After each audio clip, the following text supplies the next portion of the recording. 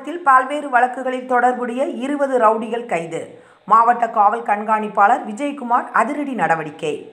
திருவாரூர் மாவட்டத்தில் திருவாரூர் மாவட்ட காவல் கண்காணிப்பாளர் விஜயகுமார் உத்தரவுப்படி நள்ளிரவு முதல் காவல் நிலையங்களில் பல்வேறு குற்ற வழக்குகளில் தொடர்புடைய ரவுடிகளின் பட்டியலில் உள்ள ரவுடிகளை கைது செய்துள்ளனர்.